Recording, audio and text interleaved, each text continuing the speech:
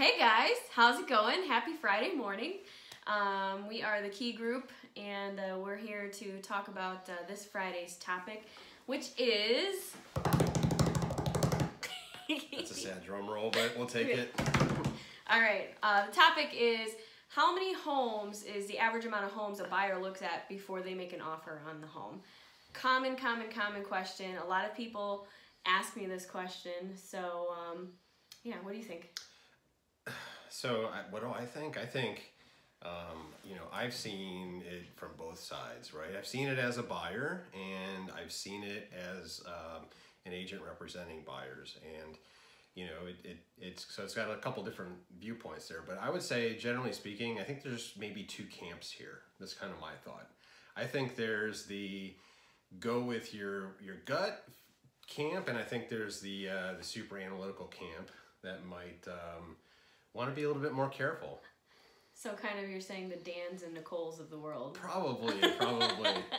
so, so what I was thinking, and um, you know, I think in a way it's very much more uh, in practice a blend of the two, right? So there's there's this there's this idea of you know where do you start? You start with that basic criteria. I think. What are you looking for? Are you looking for a two bedroom? Are you looking for a four bedroom?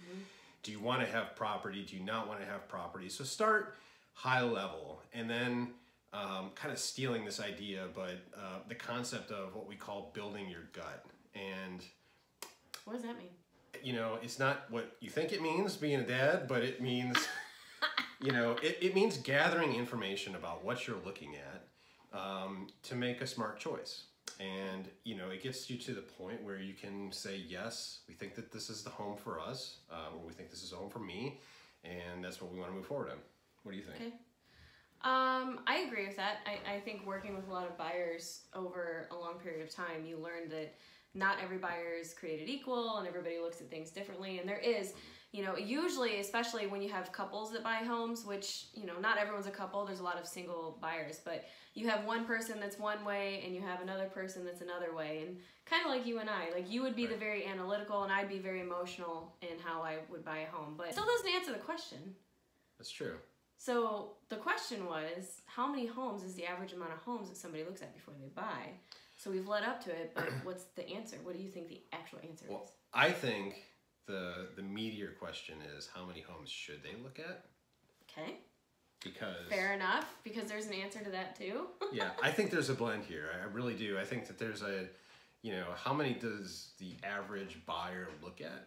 And you know, I think it's mm, low single digits, maybe you know upwards of ten. no, I disagree.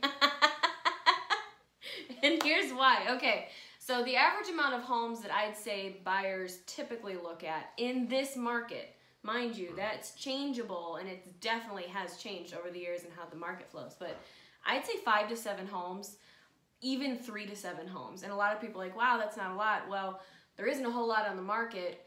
And my reasoning behind that and why we don't go upwards of 10 is because because the inventory is so low, literally, I think I looked up in North Canton um, how many homes. I have buyers right now in North Canton and everywhere, but we have buyers, and there are only there was only two houses on the market in their price range, which was a seventy-five thousand dollar range in North Canton. So if there's only two houses in the market and there's forty people looking, you know, how many houses does someone have to see before they realize this is the house for them? Okay, so here's a question for you. Does it count to what's the difference between what is seeing a house? Can you help me understand what seeing a house is? Because in today's market, in today's technological market, you can see as many houses as you want. You can go Right. online and you can tour and see all kinds of homes. Um, you can take virtual tours. You can. Did you hear, by the way, speaking of coronavirus, the Rona, I'm going to bring up the Rona, that there's a lot of houses right now that are doing these virtual 3D tours where you can literally schedule showing yourself with your realtor online to see this home and they, it brings the house to life 3D and walks you through the house 3D and it's not just rolling through pictures. So that's pretty cool. So I would say that answers that part part of that question, but the other part is, you know, when you're going to see a home, you're smelling it, you know, you're feeling it, um, you're being able to stand there and see a 360 view of the yard. I mean, there's a lot involved with It's a good point. It's a good point. I think it more qualifies your argument than on the number of houses you should really see, I guess, in person. And I think you'll have a tendency to figure out exactly what you're looking for Yeah. after you see a couple. You know, get a good idea, you know, start with that, that process of trying to figure out what your criteria is. You know, bring in as much information as you can, uh, you know, build your gut and um, yeah, see as many as you can online. But then, you know, I think it's to your point, uh, the way the market is today, you've got to be ready to go.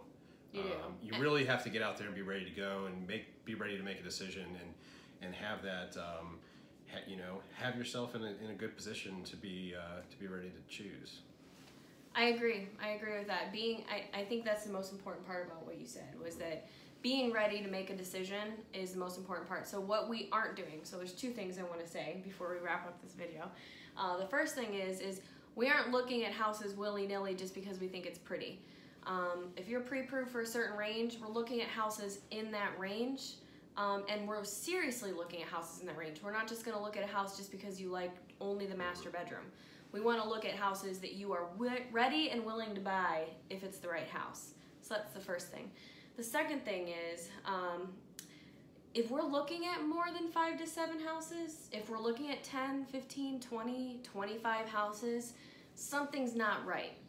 Um, and you know, it's it's between you and your realtor, or you and us, to talk about what's not fitting into place here, because there's just no justification for there's so little on the market. How come we've seen 30 of these homes and we still haven't bought one? Right. So that's something that we'll go down that road if we get there. Yeah, and it also kind of plays into the conversation of how many times do you look at the house before you make an offer, right? Right. A lot of false information out there about that. Don't Google it because you will get the wrong answer. But do you know the answer to that? Right now, it's you're lucky if you get one time. One Lucky time, if you get one single time. You might only get a virtual showing it. We, there's homes closing right now that are going without the buyer actually seeing the house in person. Mm-hmm. It's called sight unseen. Crazy, right? But it actually is happening. Yeah, yeah. So So houses are selling in six, four, six, 12 hours. So you get one opportunity, one shot, yeah. one moment. Mom's spaghetti. Anyway, you guys didn't chime in for that, but um. Wait, wait, can- wait. I want to show them one thing. Okay, Y'all know that I'm pregnant, so I, I wanted to show them my belly. go for it. Okay, I'm gonna stand up. Ooh, look at the belly, daddy. Okay, all right, I'm all done now. You guys have a good rest of your week. This was a great Friday video. Sound off below. How many houses did you look at before you bought? I'm really curious to know. And tell me what year you bought your house because I want to see. Yeah, that's a good point. Yeah, what, what time frame you bought the house in. So thanks for tuning in. We will see you next Friday. See you guys.